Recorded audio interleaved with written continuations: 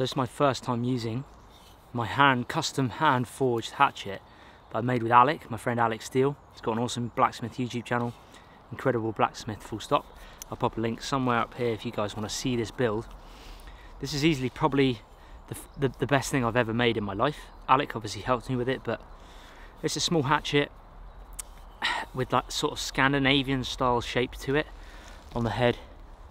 And it's a fairly chunky blade. Axe head. I mean it's it's chunky which is fine because really the primary thing that I'm going to be using this for is is splitting kindling really. Because there's a really small kind of camp camp axe. It's tiny. So for me it's probably going to do everything that I need it to do to today because if you see in my log store over there I've already bucked up and and, and sawed the wood and, and chopped it into you know usable sizes. Now I can just use the small hatchet to process it down further for, for use in the actual uh, fire pit itself but it's super sharp. I mean I did a I did a hair shaving test. Let's do another one and just make my whole arm bald to be honest because I did that the other day with Alex. So I mean it's really sharp. Shaved off all that patch down there. So yeah she's a sharp one. Anyway it's nice because this is like a world exclusive. It's the only one ever in the world that's ever been made because it's only myself and Alec that has made it. So I'm looking forward to using it. Let's put it to the test.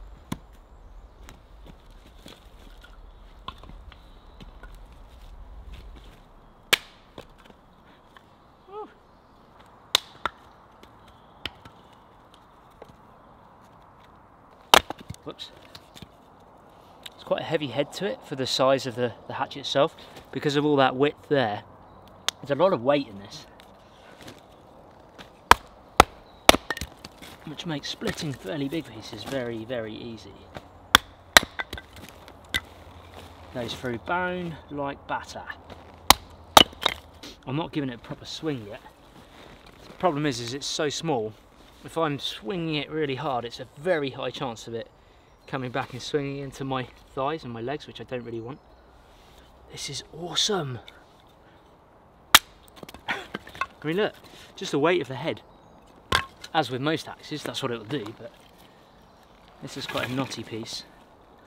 Where you've got a knotty piece like this, if you guys can see that, where you've got a knotty piece here, there's no point me trying to split down the middle of this wood because the uh, the axe head's just going to get stuck there. So uh, you try and split around the knot itself, so I'll be going for that area there and possibly another area around the side depending on how it splits. Like that. And then that just chocks off around the knot itself and you work work your weight around it and then you can split it leaving that knottier part right in the middle there. Still going, I can still get one more split probably before the uh, axe will uh, jam up like that and that's what happens. If you see there it's jammed up against the knot. Which is fine because that's now a usable piece of wood anyway. Alec if you're watching man this thing is awesome. So cool. I'm in love.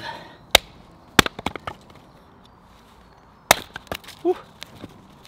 all I want to do is chop wood all day and use this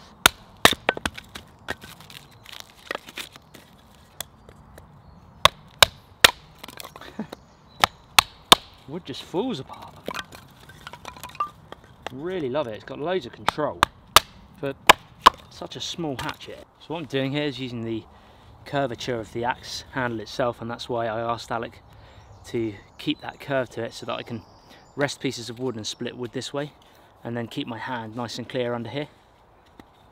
Just another way of splitting wood. It's got a knot that side. So.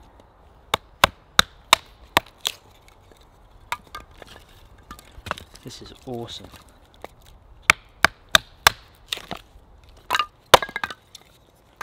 Holding up really well. So much power in that. I'll show you guys a bit in a bit. Making good good meal of this. Oh, it's beauty. So I've gone for this scorched handle. Typically, you wouldn't, you sort of wouldn't scorch them as much as this really. A lot of people just like one blow over with the blowtorch and just to give it that kind of the black then goes into the grain and makes a nice pattern of it but I haven't seen many completely scorched, and that's why I said to Alec, let's just go for it. Let's scorch the whole thing without damaging the wood. Just because I wanted to. that's why I want to. And that, that's how, that's the result. Completely black handle, set for up here, which I might scorch a bit at some point. But how epic does that look? It's got that like vintage Viking look to the to the handle, which is awesome. Super chuffed with it. I can come right down up here if I need to for kind of I wonder if it'll feather stick. That's why I wanted this. Oh my days. That's insane. I'm actually blown away by that. I did not think that's nearly doing thinner feather stick curls than my knives would do.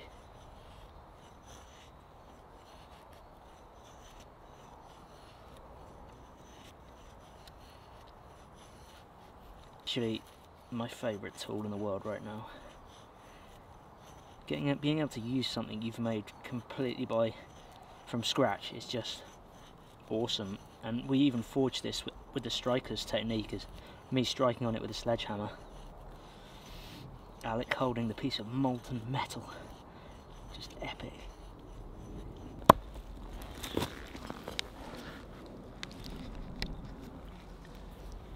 That is the result of feather sticks with this beauty of a hatchet. That is incredible, look how fine those curls are. This uh, indent up here, it's almost like a finger guard, which I can tuck right up under here, just to get a nice grip and control, so I'm just literally controlling the weight of the head. The handle's doing nothing. There's no, uh, it would be very difficult to feather stick like that. You need to get right on close to it.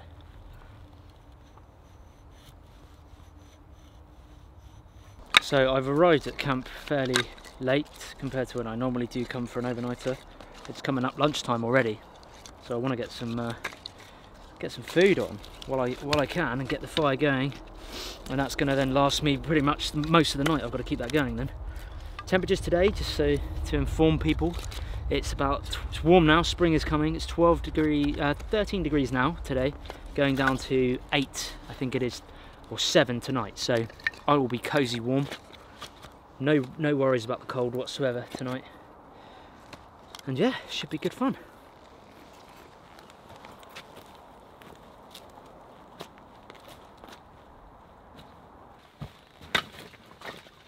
Right. Looks nice and dry.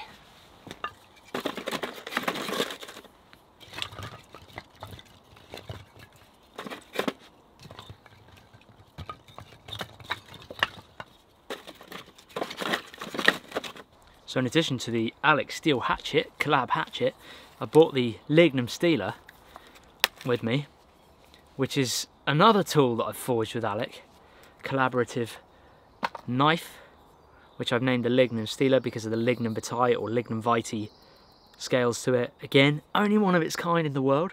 How epic is that? I honestly urge you guys to go and go and have a go at blacksmithing and forge your own tools and stuff because then you it really is something that's yours to keep and it's yours that you've made. No one else has made it in the world. It's not like a mass produced by a, by a company. That is, oh, I'm telling you, with this sabre grind. I honestly thought when I was doing this with Alec, we thought that this would fold fairly easily with that high sabre grind like battening and things like that. Not a problem whatsoever. No price on this one, folks. Staying with me. Handmade. Still got the trusty mallet, or, or bowling pin as someone called it. Thanks for that comment by the way. Someone called this a bowling pin and said I should make some more and get a bowling alley going. It's a mallet. Come on, I made it as a mallet. Still need some uh, torching up here. One guy said in the comments about uh, boiling some oil, I think he said, and dip it in boiling oil and the oil pushes out the water and creates a seal around it. So I've never, I didn't, didn't know about that, so thanks very much for the comment.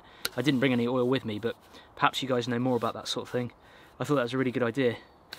And the oil then preserves the wood as well, but that was why I started burning it. I might burn it a bit later tonight, let's see. We're getting darker again. Interchangeable British weather. There we go. Oh, this thing is heavy.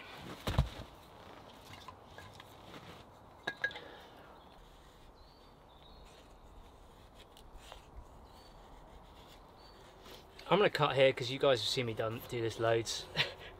I'm just making a feather stick, that's all I'm doing. Rather than batten the wood down, I'm just going to process it down with a hatchet a little bit more. It's just like, that's pretty much the limit I would have thought. My knife would obviously be able to get a lot less.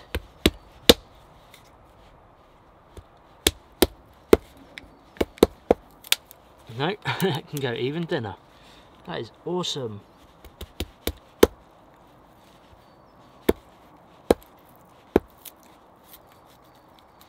This is why I really like hatchets. Because they can do a lot of work that a knife can. And they're super compact. Compared to obviously a, a, a larger axe like a 24 inch, 26 ounce axe, two pound head or something. I think this, I think with Alec we said this was about 800 grams, I can't remember. Might have gone down to 600 grams the head, I can't, I can't actually remember, it's on the video somewhere. On my knife sheath itself, this is actually my sheath for the TBS Boar, so I didn't have one for the, the Lignum Steeler. But my fire steel, this is a custom fire steel I made, just a red deer antler. Uh, I've got a bit of elastic here, and people have been asking me, like, how does this work? Well, basically that sits, that elastic is, is stopping my fire steel from ever falling out of this sheath and falling off. To get the fire steel out itself, you just grab the elastic, pull it down. You can see I've ripped it already there, but pull it down over the fire steel like that, and then you can pull, so it's on a loop system, you can pull it out. And when you want to put it away, put it back, tuck it back under, and there you go, it's nice and secure. Just a little tip there if you guys want to be able to you know, put loops and attachments on your fire steel. Some people wear them on their belt, which is completely fine. Up to you. Such going to be a beautiful evening, this one. Let's try and light the one that I did with the hatchet. That was the curls I did with the hatchet. See uh, if we can light that one. Another little tip, quickly guys. Hope, trying to put some tips in this video for you rather than just, because uh, some videos I don't talk, some I do.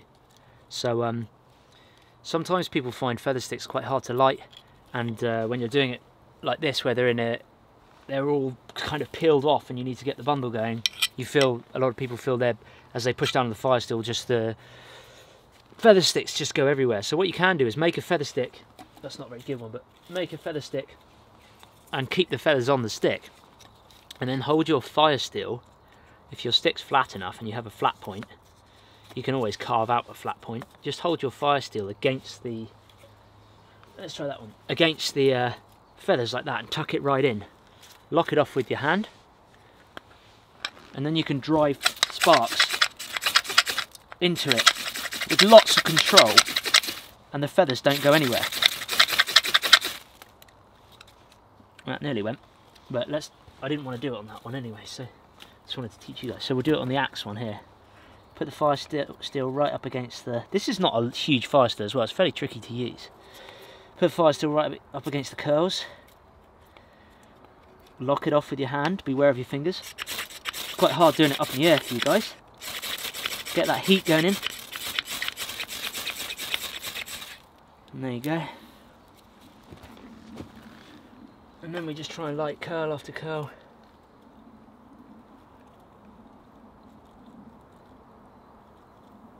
Just to try and keep them going.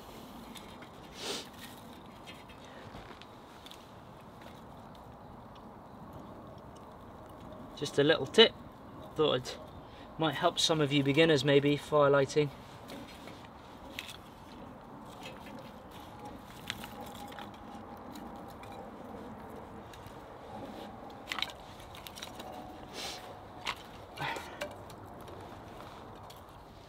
you put your gear away once you've used it you don't want to be digging around for it afterwards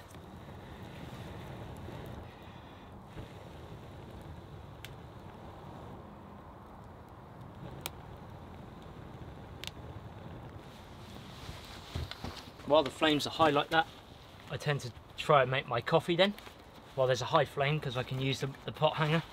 Once there's hot, um, hot coals, and it's burnt out to hot coals, then I'll use it more for cooking and uh, less for, well, just making use of the flames really early on in the stage of the fire and get a cup of coffee on.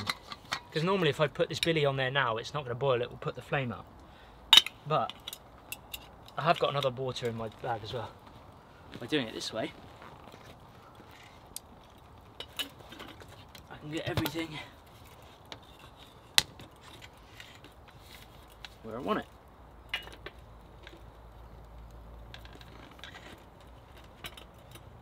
Pwah, smoked out.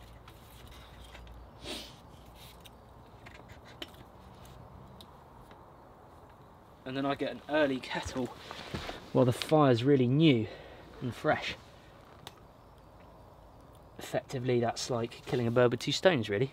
Getting the best of the early flame. Early coffee. Get some early swigs of water in as well. It's amazing how quick you can become dehydrated out in the woods just by being mesmerized by things, just by doing things. Things like splitting wood and feather sticks, it you won't think it will take much out of you, but it will, and you, you need to keep keep your brain active, and to do that you need to make sure you're consuming water. Tiredness is when injuries occur. That will take no time at all to boil. At which stage I can tidy up.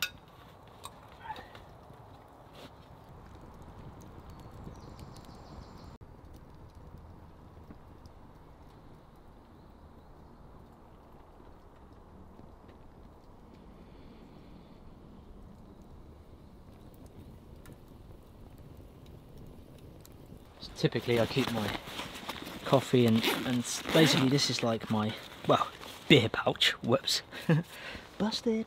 Uh, this is my kind of kitchen cooking pouch, so I've got steak spice with pepper and garlic, which I love. Uh, I've got my spoons here, so I've got the spork. It's got some MOLLE webbing in there as well. So I've got my wood coffee spoon for, for my coffee stuff, which I just carved and keep with me. Uh, my spork, my processing knife, just the Opinel number 8. Not sponsored by them guys, just letting people know in case they want to mimic the same. That's always my food. I never use that for anything but food. So that goes in there as well. It's just my kitchen thing. And then I've got like a mini rag, a bigger rag, because you trust me, this most underrated camping item ever is a rag. You'll always need one. This was sent to me by a subscriber, and it's small pepper, and salt pots, or salt and pepper. I never say it that way around, pepper and salt. Salt and pepper. Made by a subscriber who also made me the beer. I think you guys call them koozies over in America, or the US. Koozies, but I think they're the ones you put in the fridge. I, we never use that term in the UK. These things, but they keep it cold or something like that. But these are like padded ones.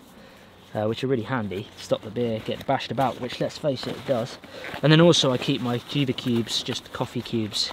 This is hazelnut keep those in here as well. I've got more beer in the other part of the bag as well, but just letting you guys know what I store where. You can see now the fire's still really fresh, but I've already got my cup of coffee. So just something worth thinking about, try and make use of those early flames.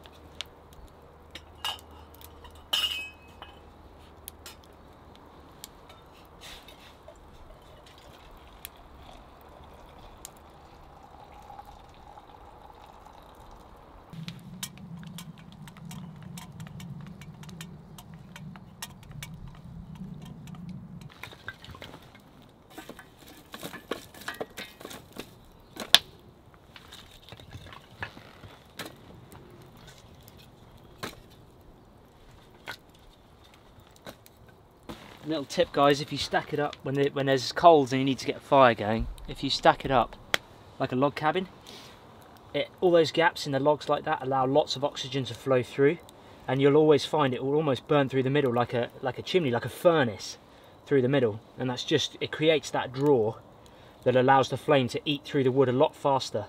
So when you're down to coals, or hot coals or very small embers and you need to get your fire going back up quick again, just pop it like this and it saves you all the hassle of having to blow into it to keep it going. It just rips up through it. You can see it now, it's already starting to climb through to the next level. It's on about the second level of this uh, little log cabin firelay.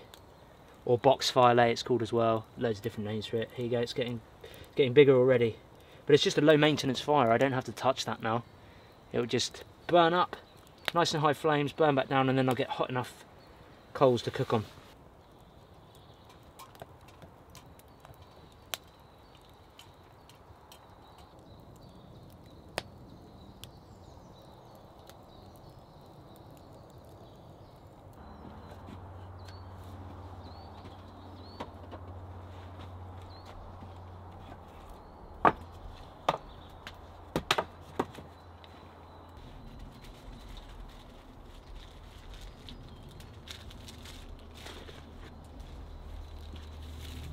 On the lunch menu today, pork and apple sausages.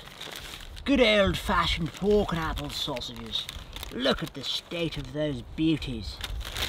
Absolutely fantastic. Oh, they look good.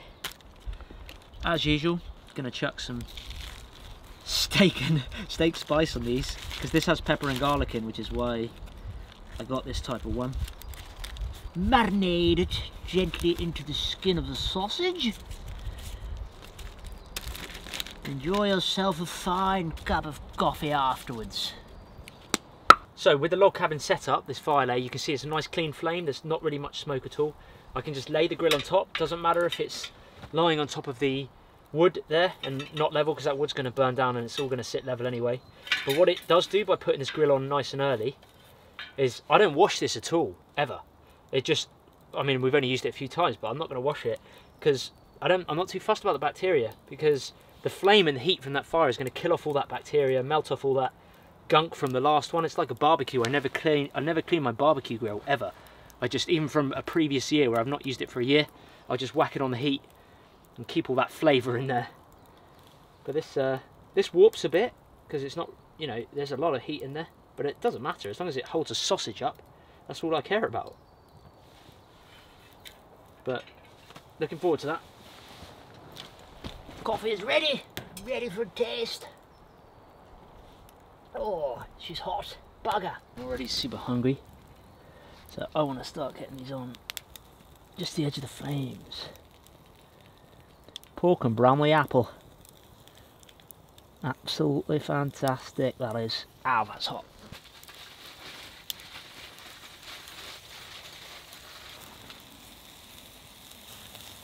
What? Burning them already.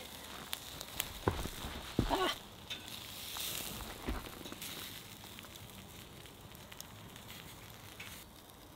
There's a lot of heat there.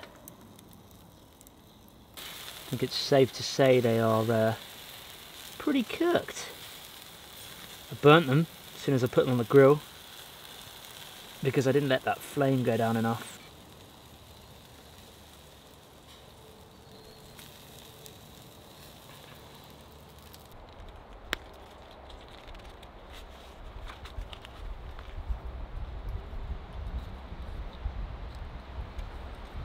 Have a little inside of these bad boys. That's cooked. I hope. There's little chunks of apple in there. Look at that.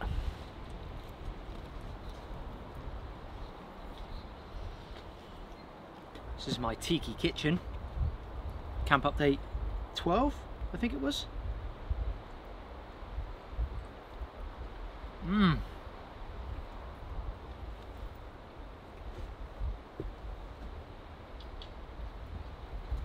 It's a winner.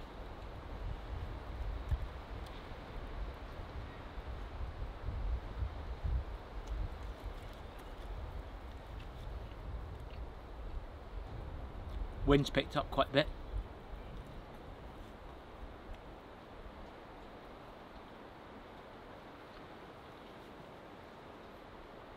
I always worry about wind in this woodland. Strong winds. I don't come here generally when it's really, really strong winds because it's so dense. I've had trees smash the, the roof, the top roof down, fairly big trees. It's, it's sort of unsafe really in really windy conditions because the bigger trees fall down, they knock a load of other trees next to them where they're so close together. So it's quite risky.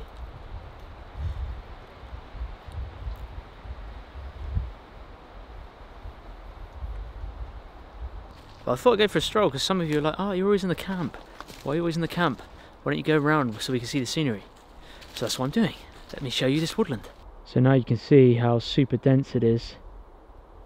Look at the moss all on the ground where it's just so dense. Lovely woodland though. Just very, very dense. And that's where I worry about the trees. Oh, there's a nest up there. I reckon that's a, a buzzard, you know. There's a buzzard, a pair of buzzards that come around this area, but there's also a pair of red kites, so I'm not too sure. There is camp. There's the sun just up there. We've got another couple of hours at least. It's five o'clock now. Sunset's about eight eight o'clock now. So we've got loads of time. Camp is looking good. Something. Squirrels probably. I reckon. That looks like a squirrel trying to bury something. Hoof print or something there. Another one here. But I think that's squirrels, the way it's dug like that. There's a lot of game trails in this woodland. For example, I know where they are. This is something I wanted to ask you guys actually. Look at this. So these, I'm finding these everywhere in this woodland. Big kind of holes that have been dug out. That's definitely not a squirrel. That's too powerful. Lots of lots of like soil and peat material moved there, and I don't know what it is. And it's oh, it's always at the base of the trees. Look, another one here at the base of the tree. I mean, it's big. There's my hand. I don't know what it is. Maybe you guys can help me. Any of the hunters out there know what this is. Look, again here, base of the tree, base of the tree, base of the tree, base of the tree there. Another one. I really don't understand what it is.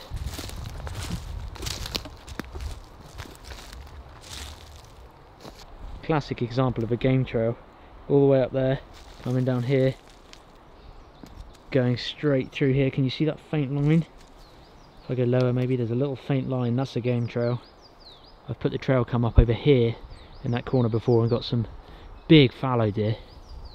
There it is again, look, see? The base of every pine tree. I don't know what it is. Birch polypore, bracket fungus. This one's a bit rotten, something's had it all underneath there. Growing all up this near the top of this uh, this birch stump. Some more up there. You can use it to strop your knife as well this stuff. Here's uh, some navigation tips for you. So the sun is over there. It's going to set in the west which is around over here somewhere this birch tree here has no moss growing on this side. Nothing there. And lots of moss on this side. You can use the trees to help you find which way is north because the moss will generally grow on the shadiest part, the shade, moss likes the shade. And this is obviously a north facing side because there's loads of moss here. And I know that that's west because that's where the sun sets which means north is that way. So that is the north side, the moss side is generally north. Quick tip for you there, navigation. So I don't know about you guys but I'm always intrigued by bugs. Always have done. As a kid I've always been intrigued by them. And uh, you'll know in Camp Update 14 where I did the bug the bug scenes. This was filmed here on this log where there was two uh, insects fighting. But I just love bugs there's a little woodlouse I really like woodlice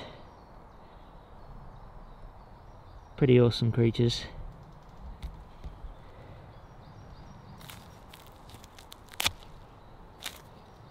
Ooh, what's he?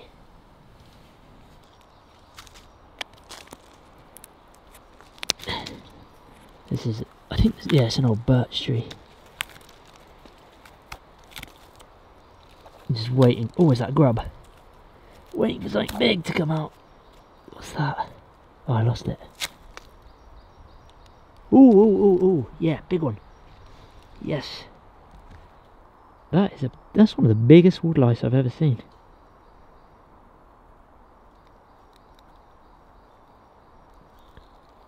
It's got a hole, damn it.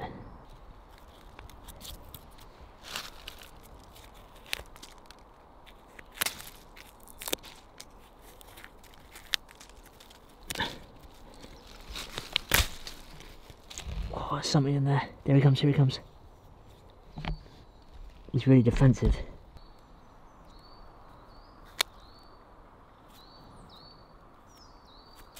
There he is.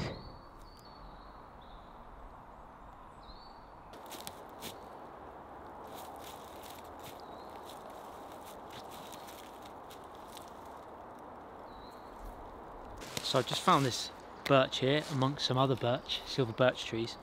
And it got me thinking, we've had quite a late winter this year. So I, I wondered if the sap was still running. Because birch sap is, is obviously really good for you. It's full of goodness, full of antioxidants. I, I did wonder if it might be too late to, uh, to tap the trees. So I'm just going to check test. I've, in my pocket I always carry with me, I haven't shown this in the videos before, but so in my pocket I always carry with me my Swiss Army knife. I did have the old old school candy red ones. Dad gave me one when I was a kid. Had it for years. I can't find it now. It's somewhere buried in the loft. This is the Evo Wood 17. I love the fact it's got that. They're walnut. It's got the walnut kind of scales, the, the wood to it, which is really nice finish, which is so different from the traditional kind of candy red colour of a Swiss, uh, traditional Swiss Army knife. But I'll pop a link in the description if you guys are interested in this. Uh, this is, uh, I think, the 9 tool one. It's got 13 different sort of functions on it. Uh, but I always, this is my EDC, I always carry this on me all the time. Although the UK knife laws are going, it'll probably be illegal soon. Stupid thing. Anyway, let's see if it's the sap's running. So I'm just going to put a little incision, nothing too drastic, at 45 degree angle. But I think the sap has stopped running. So just trying this one, just to see if there's anything running in this one. It's different to every tree. Sadly no sap, but I've tidied up the wounds on the tree just to let it heal. And I was a little bit late this year, but it doesn't matter. I'm getting hungry now for dinner soon. And I've got to get back to get some logs on the fire. Again, the fire was right down when I came back. So got some slightly bigger logs that I split and put it in that kind of log log cabin style fashion again and you can see that that's acting like that's drawing through the wood all that air and oxygen as well as what's coming out in the pipe down here that we installed in Camp Update 14 there's a nice draft coming in there. So it's looking good. So these were the beer covers that I think it was Mitch I think it was called Mitchell that gave me these in an unboxing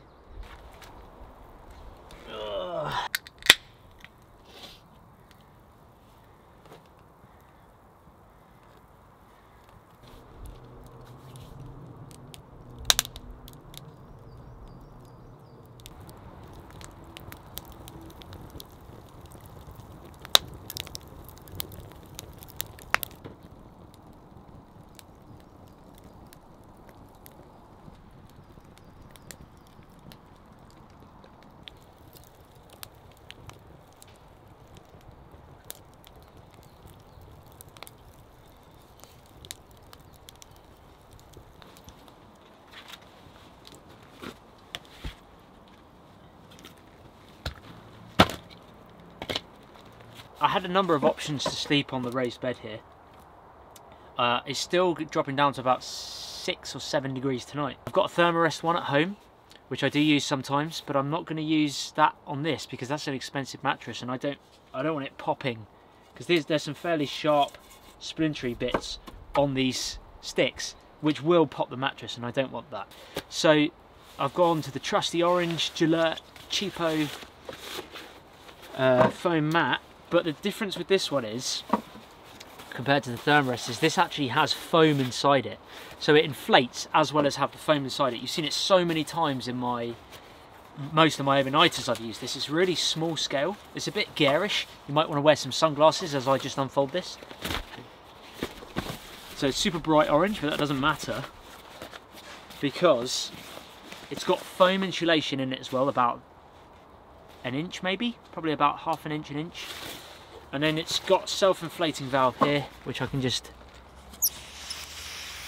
open up.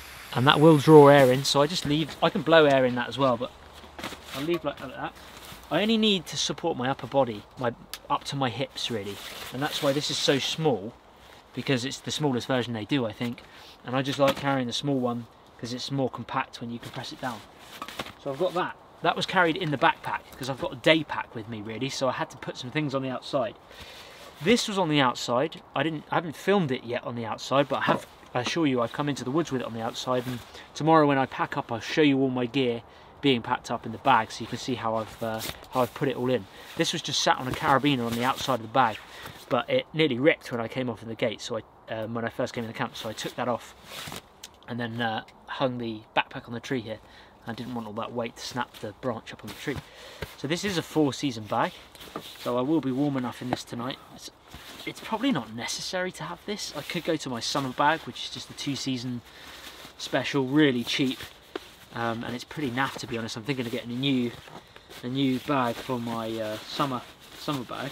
I can open this out now. I don't have to worry about bugs because we're just on the edge of when the bugs are coming now. We're right on the edge. I've seen a few spiders around. I'm I'm okay with bugs personally. I know some people get really freaked out with them.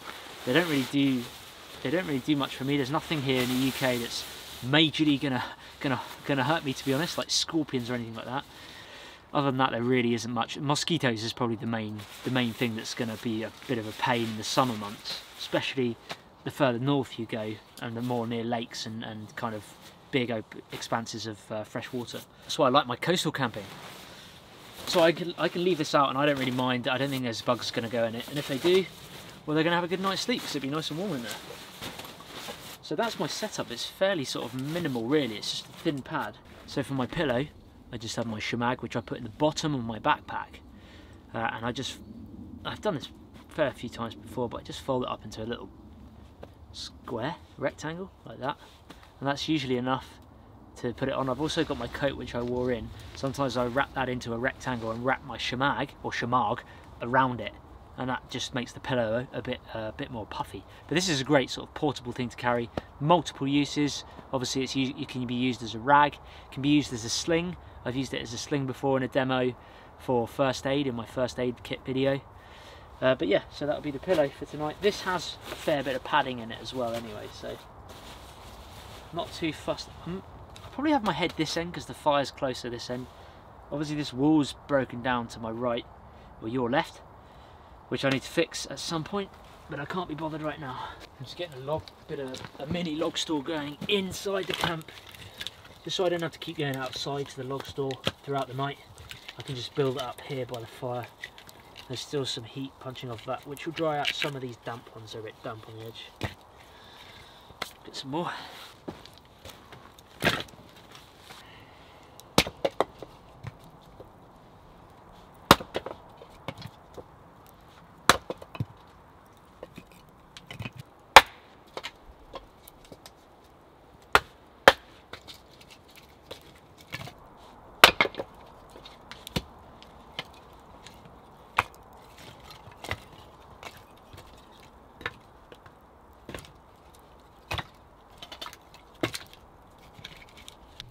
Found a, a nice piece of pine which might make a nice hearth board or hearth board for a bow drill, which I may have a go at tomorrow.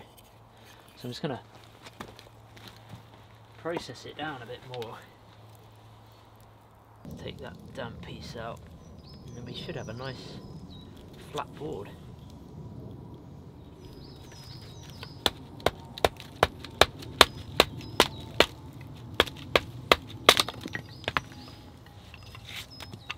Pretty good.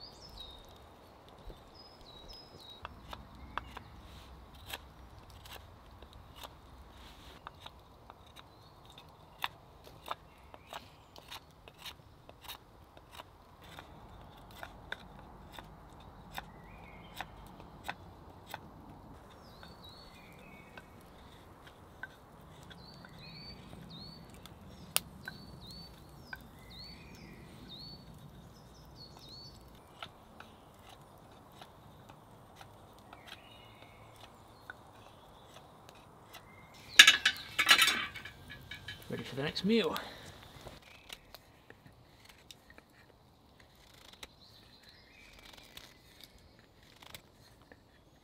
So for dinner, apologies all vegans that are watching, I'm going to go for a double burger. Beef burger that is. Now last time I burnt the sausages a bit too quickly, so place this on the outside. But I didn't bring any uh, buns, which is a shame, I forgot. Oh well. But a burger like that will be absolutely fine. And for the beer of choice, I'm going to go with this one because I know it's my buddy's. Rich, who gave this to me. So Rich, thank you very much, sir. He gave me the 13 Guns Crafty Dan American IPA. Forest is literally alive with birds at the moment. Lovely.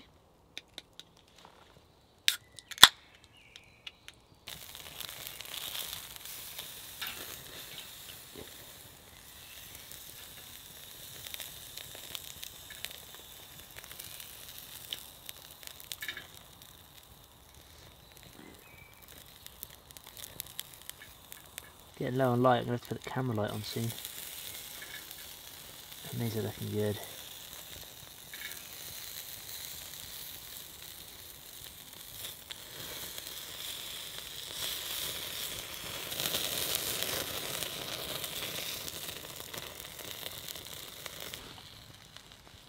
Oh, ow, it's hot. So I generally always pack a pair of gloves with me just to lift hot things, hot items.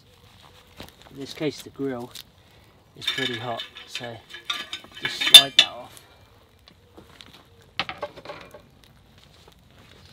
Now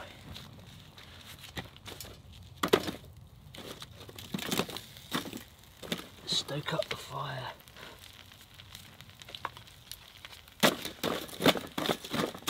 Get it going again. I've used pretty punky wood at the moment, which is why it's so smoky.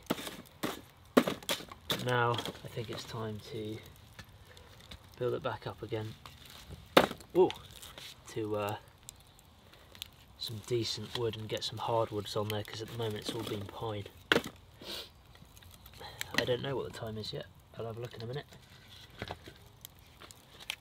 Again, see how it's pretty much coals. Get the log cabin uh, setup going. Add a bit of oxygen, like so.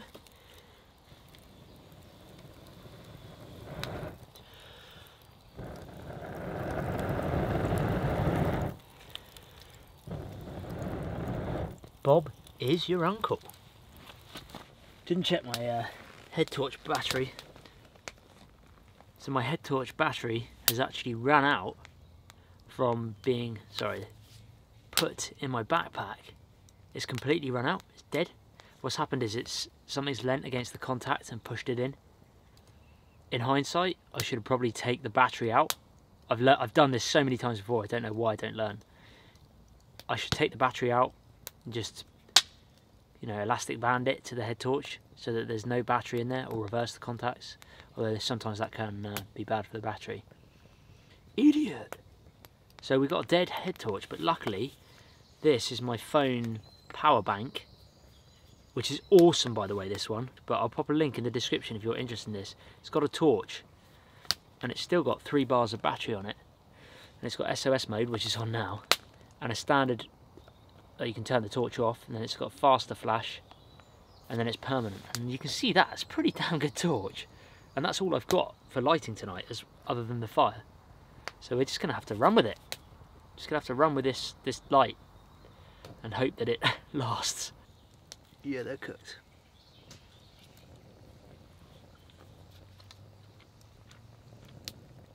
What can I say?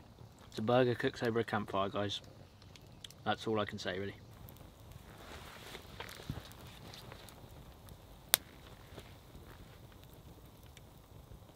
Do you guys remember the old candle, UCO candle that I used? I think it was on the coastal overnighter well I brought it with me. It's probably fitting really as given that I've forgotten everything else. I know you can pull it down from the glass and light it but I'm just going to do it this way.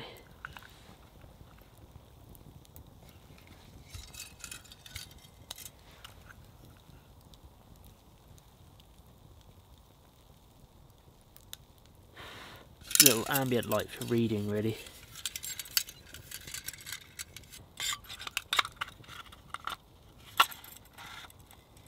old school lantern. It's my reading light. Not much, but it will last quite a few hours. The glow there, that's how much candle's left. With the spring activation, it'll always push up. So the candle will always stay the same height. So This is about as light as I can get it tonight. Which isn't very light. Fire's got some good warmth though. Candle doesn't give off much light like that, but it's nice ambient light. Sleeping bag, mat, beers. Yeah, got to tidy up that lot in a minute. So hopefully you guys can see I have lashed the charger to the tree with a very basic lashing there but that's as good as it's gonna get so hopefully you can see, hopefully you can see me so I, did, I posted a picture way earlier when I got a bit of signal on my Instagram uh, just saying I'm in the woods uh, just saying uh, about a Q&A really for this for this particular video because I get very sporadic signal here where I am but I'm just going to uh, try and answer a few of your questions that you guys have sent over on Instagram. There's a few on Facebook as well. I'll just pick out a few. I'm not obviously I cannot answer all of them, guys. I'm sorry. What is your favourite? This is Northbound Beauty. What is your favourite tool to use in the forest, brand and object? Well, it's got to be it's got to be the Alec Steele hatchet right now. That is literally my hands down my favourite tool to use. Who is your favourite bushcraft YouTube channel and why? Oh, that's a good question. I don't I actually follow, I've said this before, I follow way more fishing channels than I do bushcraft because fishing is my thing. That's what that's what I'm sort of most passionate about. It's what I've done for years, most of my life with Dad. We're, like I say, we're fishermen really. Dad brought me up fishing rather than bushcraft. I didn't do bushcraft with Dad or anything like that. I did I did fishing. So I follow a lot of the fishing channels um, and uh, all the the fishing scene in general on YouTube. But bushcraft wise, I would say my favourite. Um, YouTube wise would have to be Mike at MCQ Bushcraft. Um, he's, I'm going to pop a link somewhere, you'll see a link here and probably down below, Mike at MCQ Bushcraft. He's about to go on a, um, like a six month overlanding adventure with his wife Meg, um, which sounds awesome. Uh, so I, I, wish them the best of luck if you guys, um, if you're watching Mike and Meg, I hope you have a great trip. Um, looking forward to seeing some of the videos that you have come from that. Mike's a really laid back guy um, and incredibly knowledgeable about wild edibles. Well, he's a bushcraft instructor as well, so he, he his knowledge of bushcraft is is like way better than mine. Is YouTube your full-time job? Do you feel fulfill, fulfilled? Yes, YouTube is my full-time job. I've been doing this for this is my second year running now. Second year? Yeah, second year running now, full-time. Um, that's a great question, that second one. Do you feel fulfilled? I think it's very hard for almost any YouTuber to feel fulfilled because it's always about the next video and the next adventure. So it's it's almost I almost never feel fulfilled on the YouTube side of things. Life side is different, but on the YouTube side of things, I would say I don't I don't feel fulfilled, except times like this when I'm chilling by the campfire. I can actually take some time to take it all in. But yeah, that's that's a difficult difficult one to answer. It'd be interesting if you ask other YouTubers that. I'd say it's hard to feel fulfilled on YouTube because we're constantly worrying as well about demon. Like I'll upload a video and it will get demonetized. I don't I don't bother saying it anymore because I don't want to pander on about it. But you know sometimes a lot of the time I'll upload a video and it will get demonetized within the first few days. Are there any dinosaurs? No, there's no dinosaurs in this wood. I really hope there's no dinosaurs in this woodland. A raptor would scare the crap out of me right now. I hate raptors. T-Rex is fine, you can hide from it, but a raptor would just get you. I thought that question was ridiculous. So James J Hamburglar says, "What's the biggest animal you could? What's the biggest animal you could single-handedly cling film to a lamppost?" oh. I've got to answer this seriously as well. What a question! J Hamburglar, you win question of the day. I reckon I could definitely cling film a pig to a lamppost because they're fairly like docile. I think a horse would be a bit big. A pig would a pig would be. I'm not talking like hog, wild hog. I'm talking like pig, bacon pig. That would probably be. That's a pretty hefty animal. It's pretty big and it's non-aggressive. Wonder with fur. Any chance of a bushcraft trip with Hayes outdoors? Yeah, I, sp I speak to Hayes. We'll definitely uh, we'll definitely get a camp in at some point. So instantly the the top Facebook comment is from Lee Mason who says, "Has anything spooky ever happened to you in the woods?"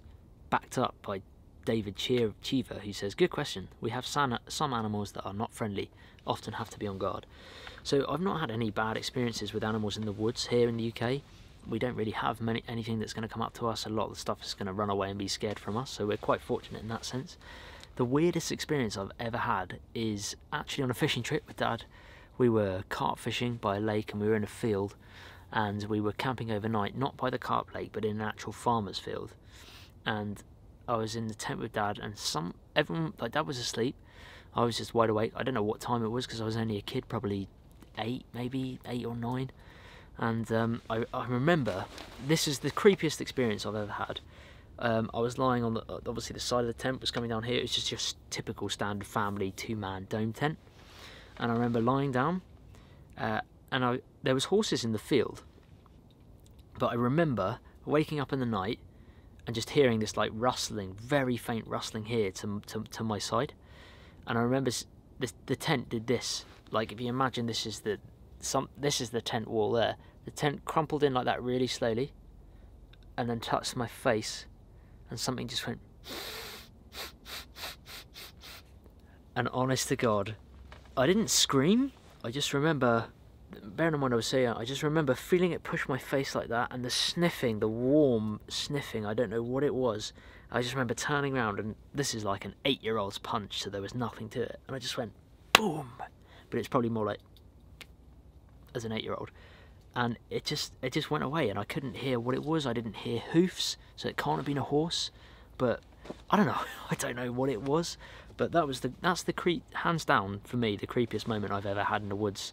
Full stop. Thanks so much for all your questions. So this is my kind of hygiene bag, made for me by well, it's just a small possible kind of pouch made for me by my buddy Tim, Blue Angelical Bushcraft. I'll pop a link in the description. This is where I keep my as seen in the previous video. Hand sanitizer, uh, some tissues, some Vaseline, which is also flammable, toothpaste, and this is my toothbrush. So this is my toothbrush, it's just a really small one. I do have mini toothpaste that actually go in there, but I don't have them now, so ran out, used the normal toothpaste. But it's nice and compact, pulls out, folds on itself, and that is just my toothbrush. So that's my hygiene bag for those that haven't seen it before. So I've put some hardwoods on there now, some ash, mostly ash. But this is the best stuff from the log store, which we've not touched all winter. It's kept nice and dry. And that is going seriously well. The One thing I um, basically shoved in my pocket on the way here, because I'm in it clothing wise, just so you know, I'm in a hoodie, t-shirt underneath, that's it. Just hoodie, t-shirt, and my kind of bushcraft pants, that's it. Wool, merino wool socks, walking boots, that's it, clothing wise. I have got my wool hat as well, which for tonight I will just put on because I know it will drop down as soon as that fire gets out. It's probably one of the quietest nights in the woods I've ever heard so far. It's 10.15 now, and usually I hear animals. Another thing to uh, combat the bugs. As one of the guys was asking, is at night tuck your sock or your socks over your trousers. You look like a bit of a loon, but seriously keeps the bugs, that's where they're going to come in, is in those nooks and crannies. Giggity, and that is uh, where you want to cut them out, so also helps retain your warmth a bit. We'll see how hot things get.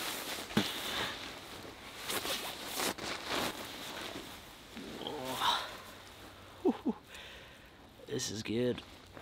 This is cozy. I'm going to call it a night. Thank you if you're still watching, I appreciate it. And hopefully tomorrow there's plans to tinker around with that bow drill kit. Maybe see if I can give it a go. I was just going to make a kit and kind of uh, dry it out a bit, but we'll see if we can get something going. Cook up some more food. Just enjoy being in the woods you're still watching, thank you very much. I'll see you guys in the morning. Morning, guys.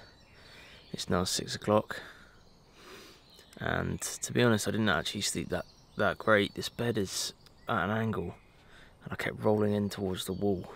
My sleeping bag like slides a lot on top of this mat, which is really annoying. nice to see the view from the window.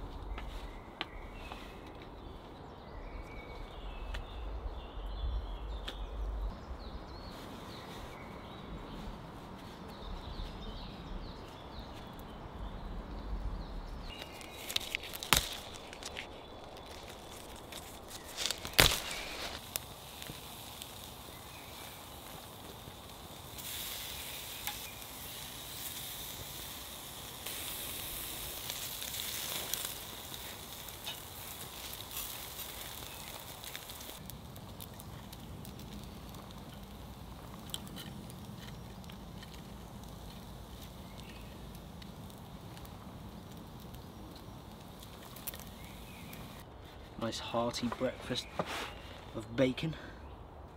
Bit of a meat feast this one.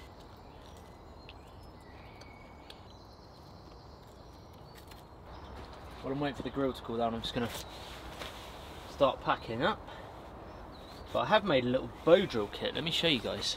So I actually started this yesterday. Got my hearth board, my spindle, bearing block and bow. The wood is it's like slightly damp. I might give it a go in a minute. Well, I'll pack this slot away first and then I'll give it a go. So inside MPP pouch, I just put the kitchen gear, kitchen gear, basically spork, spoon and knife. That goes in there.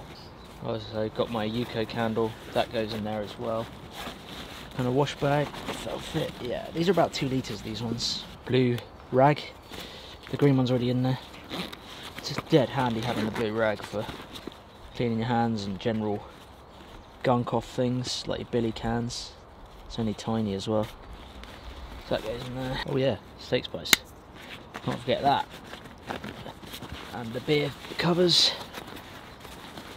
It's pretty much full spare battery that I've already gone to on the camera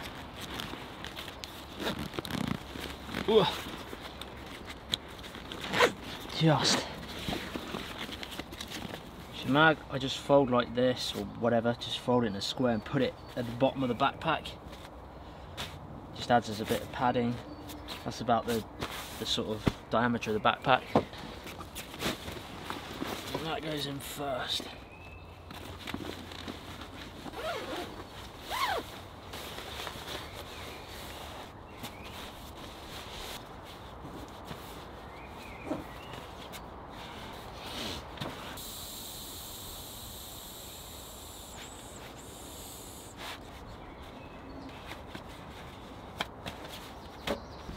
Obviously I've got the beer cans to take back, but little tip, obviously I can save space by crushing these beer cans down flat. If I do that with my boot, there is a chance that it could puncture through the sole and make a hole in the boot, which would basically ruin the boot and the effectiveness of the boot. So what you can do is just with a piece of flat wood, place it over your beer can, then put your foot on it, crush down, flat beer can, no bad foot. Use the same indent that you've used before because that's nice and sturdy. Same again.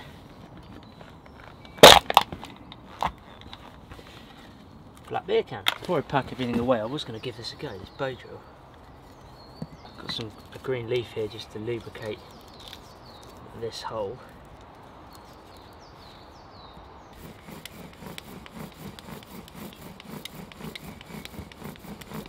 So I burnt it in, but you can see it's pretty split wood. We're gonna give this a go anyway, see what we can do.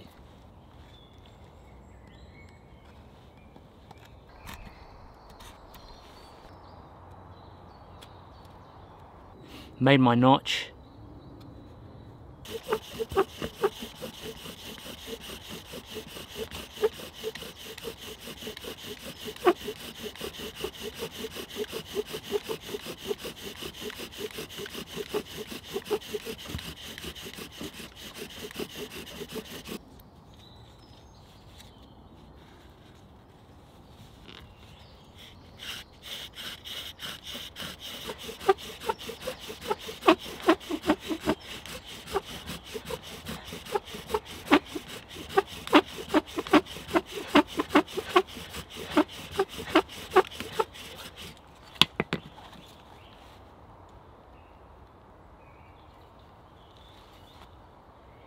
Still not there.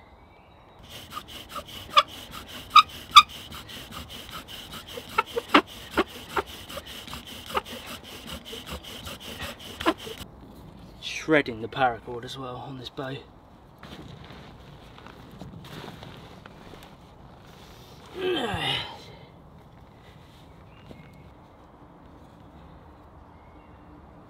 Okay.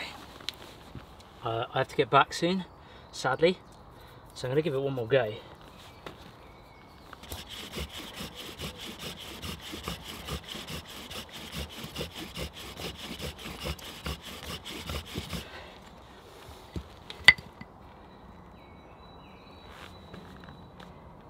No, not today unfortunately. Little tip by the way, if you fail at bow drill, you've still got those hot coals throw some sparks into it. Just a shame I wasn't close enough to to get that. Always another time, people.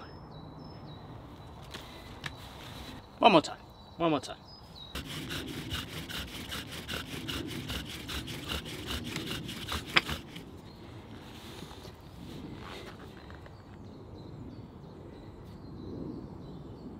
Bow drill fail, come back to that another episode. Sleeping pad. In, billy can, water bottle, knife, actually try and tuck right down the back in the corner, camera, I don't think you saw that, so tinder bag was there, camera batteries, the Epic hatchet with no sheath yet, so I just put some tissue around it because I don't want to rip my bag. Nice and small, look, goes in the pack pack dead easy in a day pack. My second water bottle.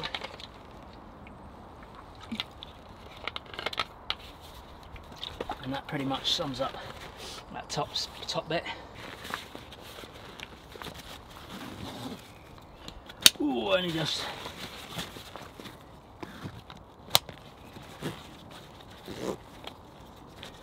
Okay, then on the bottom of my bag here, this is how I carry my sleeping bag in. Carabiner, clips through the sleeping bag, through the MOLLE webbing, job done. Bounces around a bit because I've tight, put so much in the pack that the bottom straps aren't loose enough to put this on. But it does the job. So I mentioned Obviously I've got my t-shirt with me and my hoodie, but I had my wool shirt on because it was quite cold when I walked in. Hoodie on top, and jacket, backpack, sleeping bag. It's nice to bring a day pack for a change for an overnighter. And then sleeping bag just dangles down here. And that was it. And then I carried the saw, uh, which I didn't use too much of, but that I just carried in my hands. So that's it. Got the beer, can beer cans in the side pouch. Thank you for watching. Really appreciate it. I hope you enjoyed this video. There's one whole video of me building this whole camp and then there's 14 separate episodes where I do a lot more called the Camp Update series, the Bushcraft Camp Update series. If you want to click on those, everything you need to know is in the video description below. Thank you so much guys and I'll see you soon in the next episode.